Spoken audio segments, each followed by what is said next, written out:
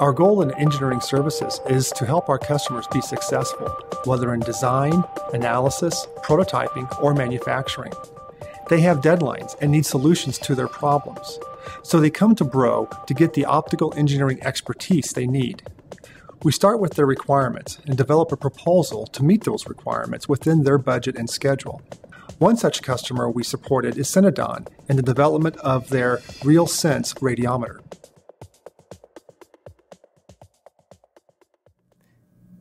Synodon's a wonderful example of the type of project that BRO's done for a customer that's really a comprehensive service. And uh, for example, uh, they came to us several years ago and they had a conceptual design for an instrument at that time. And they said, BRO, we'd like you to take a look and review this instrument, critique it, and tell us what you think. Um, today, Synodon is flying that same instrument that uh, BRO designed and fabricated on a helicopter to detect uh, methane gas leaks uh, for very, a wide variety of different applications. To describe to you uh, a bit further the type of service that BRO provides to its customers and also to explore this realSens instrument uh, that Synodon has asked us to help to develop, um, let's uh, start from the beginning and go back to, uh, to the conceptual design that, that Synodon provided us to evaluate. Synodon has developed a remote sensing instrument to measure natural gas leaks, and they've referred to that system as the realSens system. And the realSens system flies on a helicopter at 300 meters altitude and travels at about 100 kilometers per hour and captures a swath of ground that's about 64 meters wide. And from the data that's captured through that flight, uh, can generate a map of natural gas leaks uh, with a, a, ground resolution of about two meters. In the conceptual design review, we reviewed the optical system performance, that is its image quality. Uh, we reviewed its radiometric performance, starting with the sun, that light bouncing off the Earth's surface, and then propagating through the instrument to the detectors. And we took a very close look at uh, how stray light might impact uh, instrument performance. Throughout the design phase of the Synodon project, we use BRO's Advanced Systems and Analysis program extensively. In fact, one of BRO's engineers used ASAP uh, for a large number of system analyses on the realSens radiometer.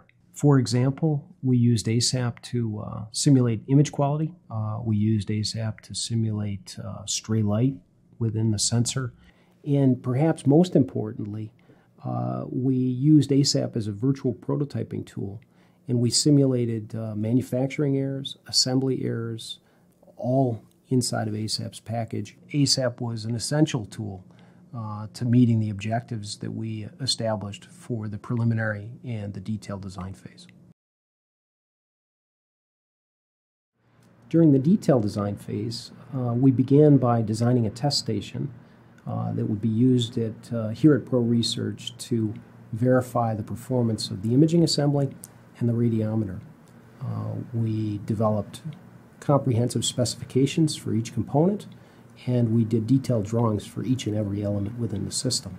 Uh, at the completion of the detailed design phase, we upgraded the system model that was a SolidWorks CAD model. And uh, let's take a couple minutes and, and go tour that CAD model and look inside. Yeah, the Synodon project required a tremendous amount of mechanical engineering and structural engineering as well, um, following the optical design. So once the optical design was done, that's where the structural and the mechanical take over. On Synodon, uh, we provided the optomechanical engineering services as normal, um, and that went starting at uh, conceptual design through the different optical design phases, and we were there to support the optical design in that we needed the optics to fit into whatever mechanical package was going to be. So we start the, on the optical end and you have to handhold with the mechanics and what you think that's going to be and how much you think that's going to weigh and can you mount the optics and can you center the optics, can you get the system aligned, that sort of thing. So every step of the way uh, we were there to uh, help things go through without problems. And after we completed that upgrade of that CAD package, uh, we assembled a documentation package that included all of the drawings uh, and all the pertinent specifications for the hardware build. And we presented that material to Synodon. And with Synodon's approval, uh, we proceeded to the prototype phase of the job, the hardware phase of the job, uh, to go ahead and fabricate a radiometer and a realSens enclosure. Now, in the final phase of the program, the hardware phase, we subcontracted the manufacture of each and every component uh, to approximately uh, 30 different vendors. Uh, we then received all of those components and performed all of the assembly, integration, and test at Bros facility. After Synodon uh, signed off on the radiometer performance, uh, we went ahead and integrated the radiometer into the realSens enclosure. We added uh, the mounting hardware that Synodon would use to install the remaining instruments to make up the realSens system, and we delivered that unit in place to Synodon. Synodon then took the realSens system to the Tucson International Airport for flight certification testing.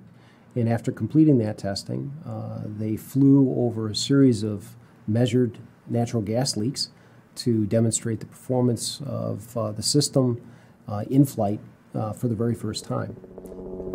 All right, we've got the helicopter flying uh, down the length of the road. We put a, an ethane leak uh, about 30 meters down the road, and just off the road. And, today, I am very pleased to announce that Synodon is flying over a number of different natural gas leaks for a wide variety of applications and a number of customers.